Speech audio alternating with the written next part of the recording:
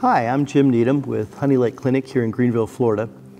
And I want to talk to you now about resilience. It's one of the 12 core competencies that we focus on at Honey Lake to produce folks that have a spiritual maturity and emotional health.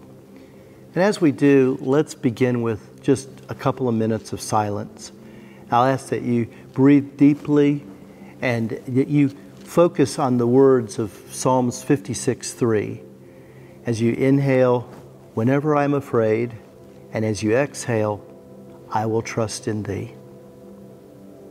Whenever I'm afraid, I will trust in thee.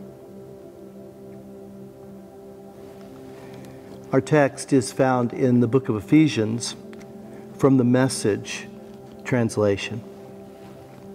Verses 1 through 6. Wasn't so long ago that you were mired in that old stagnant life of sin. You let the world, which doesn't know the first thing about living, tell you how to live. You filled your lungs with polluted unbelief and then exhaled disobedience. We all did it, all of us doing what we felt like doing when we felt like doing it. All of us in the same boat. It's a wonder God didn't lose his temper and do away with a whole lot of us.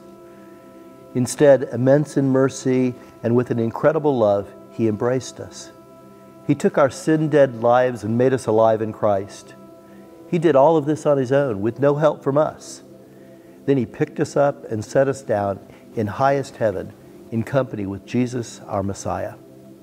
And then in Colossians, the third chapter, it says this Since then you've been raised with Christ, set your hearts on things above, where Christ is, seated at the right hand of God.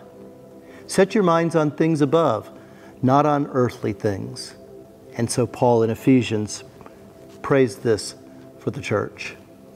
I pray that the eyes of your heart may be enlightened, in order that you might know the hope to which he has called you, the riches of his glorious inheritance in his holy people and his incomparably great power for us who believe.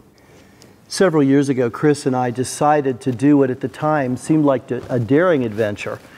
While on vacation at the beach, we watched as a speedboat equipped with parasailing regalia took one of the sets of tourists after another for their special ride. The sport was relatively new at that point, and although neither one of us were fond of heights or of thrills, we knew that the view would be spectacular. So we put away our apprehensions and we decided we'd give it a try.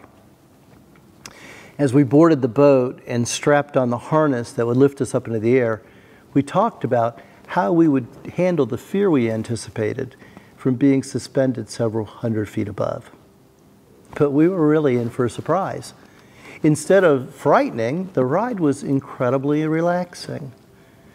As we floated upward, the boat pulling us and the people on it grew smaller and smaller to our eyes. And soon the sounds of the earth, the roar of the boat, the sound of talking and laughter gave way to a wonderful silence. The parasail provided a feeling of weightlessness that moved through our bodies and right down into our souls. Even the smell of diesel and sea were replaced by the smell of crisp, fresh air. But most importantly, Instead of the anticipated fear, there was peace. Just those few hundred feet were enough to bring a different perspective. And with that new perspective came a new emotion. Paul, in his letter to the churches, is very aware how much difference perspective makes. He encourages them to rise above their circumstances and worldly perspective, to see things from the vantage point of heaven itself.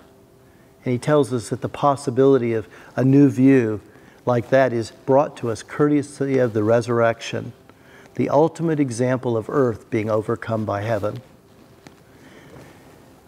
Recent studies on the characteristics of people who are able to face great tragedies and not only overcome them but rebound to a more fulfilling life repeatedly show that faith in something greater than ourselves is one of the factors of their success.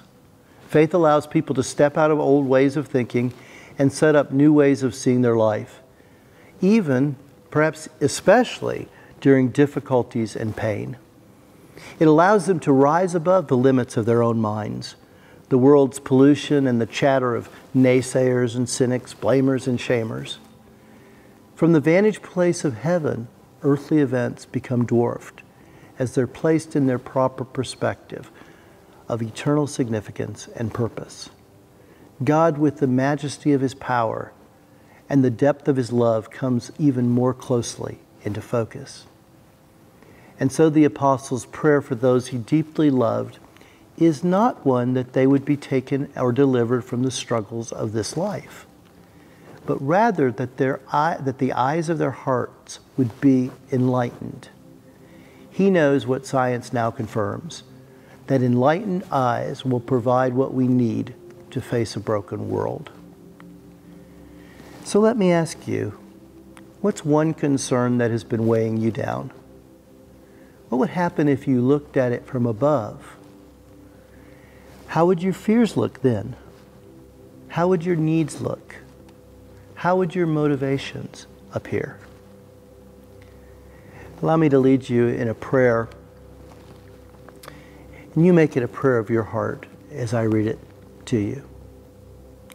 Risen Christ, give me enlightened eyes for this situation, that I may see it from above.